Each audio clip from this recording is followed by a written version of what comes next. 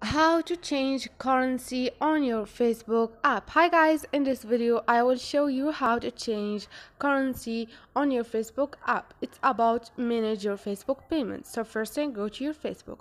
Once we are here click on those three lines up there and click on the setting icon beside the search icon.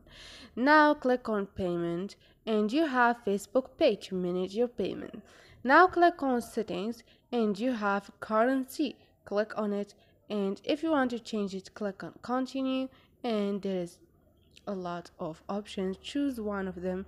And like one, once you are done just click on it. And they're gonna change your currency on your facebook app easy and quick.